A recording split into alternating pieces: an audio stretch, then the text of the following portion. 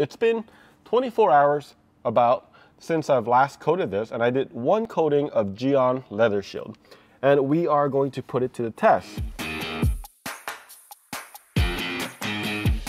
I asked Gyeon if I could do some of this test and they're a little nervous, but they said you should totally do it. So we're super excited and hopefully I don't damage my vegan leather, white seats.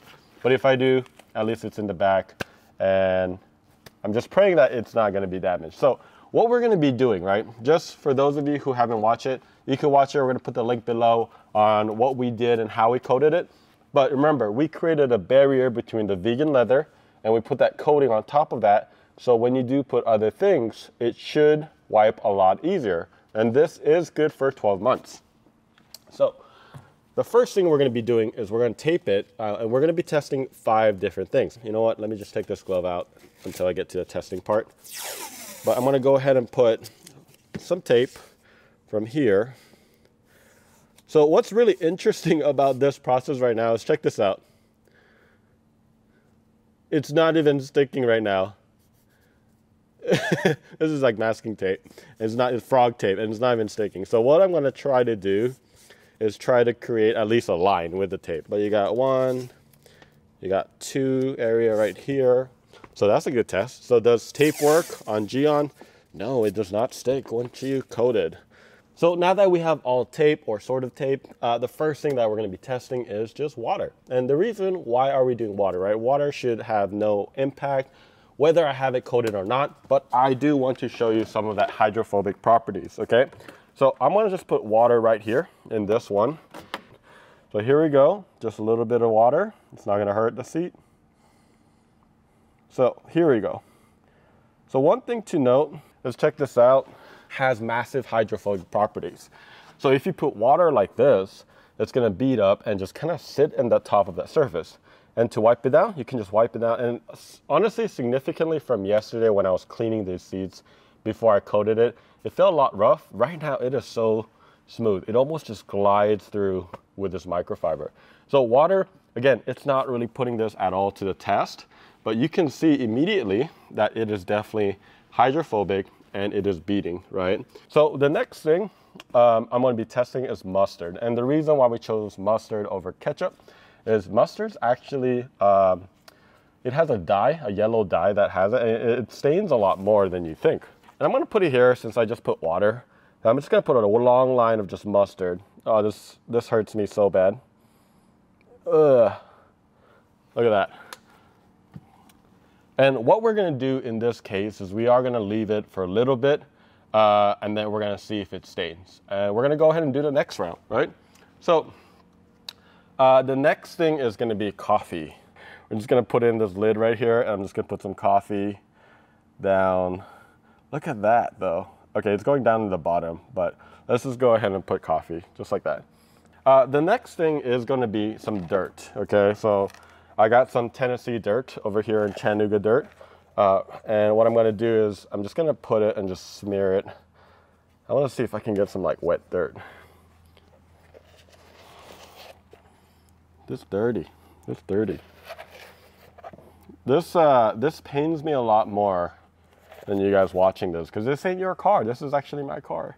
So I got dirt right there. And then lastly, uh, this is what makes me the most nervous in this testing. But we have a Sharpie. Yes, I'm trying to replicate like a jean transfer because the jean transfer does have that blue dye um, and it can kind of stay there for long periods. So this, I'm pretty sure this would be much, much stronger than the jean dye. So we got the Sharpie. Man, I really smell this mustard. Hopefully it comes off.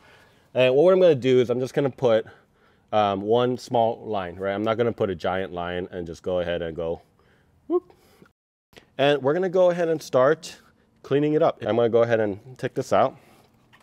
And what we're gonna do to clean it is, first of all, we're just gonna wipe it down with a microfiber, okay?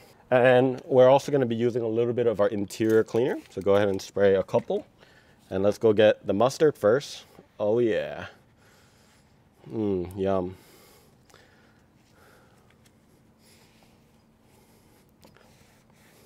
Interesting. So one thing about the mustard already, there is a little bit of a transfer, okay? So there's a little bit of yellow that runs across here. The coffee, Very, very small. There's a little bit of transfer. You could see a little bit darker hue across here. I'm not even like rubbing or scrubbing or anything like that, just so you guys know, okay? I'm gonna go ahead and get the, the liquid though down there. And then, okay, I'm gonna grab a brand new microfiber because I don't wanna be putting all of these things onto the seat itself. I'm gonna go ahead and get the, the dirt. There you go.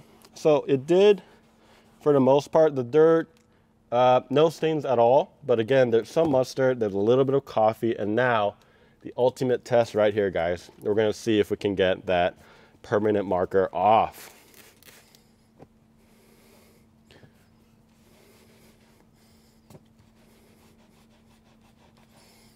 This is not a fail yet, right? So we're gonna do the second round where I'm actually gonna put some elbow grease first to the mustard.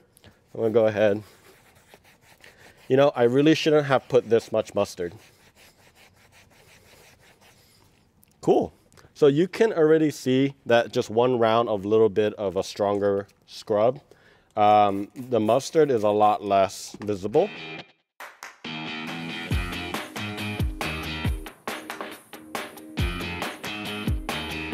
I'm gonna go ahead and move on now to the coffee. Put some umph to this. Okay, so the coffee is pretty much gone. There's no stains uh, whatsoever. But right now we're going to move on to what I think is the most difficult one, which is going to be uh, the permanent marker. So let's go ahead and scrub.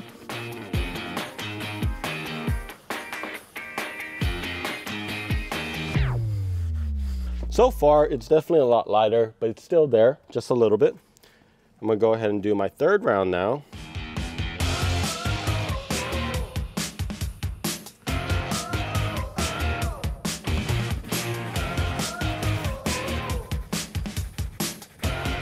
So I've been trying to get this off with our interior cleaner, but unfortunately the permanent marker or Sharpie is a little bit too strong. So now I'm gonna still try to get it off. Well, this is 70% uh, rubbing alcohol, uh, iso alcohol. I'm just gonna go ahead and try to rub that and see if I make any progress here. We'll go ahead and try to spread that a little bit. Okay, I feel like I'm making a little bit of progress there, so I'm going to try to keep going at it.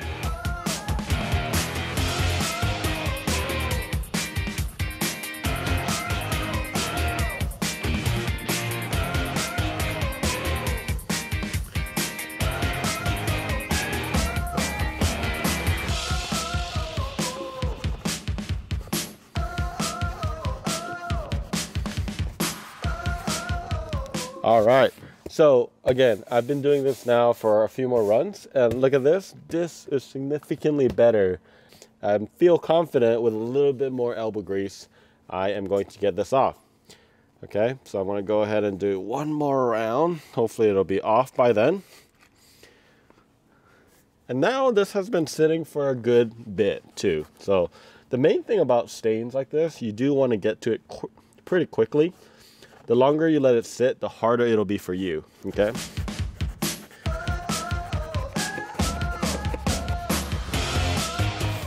Wow, that's nearly off. I used some 7% alcohol and I used some elbow grease and I was able to able to get it up probably around 95%. I mean, it's barely there. If you really look at it closely, you'll see it, but still very much impressed.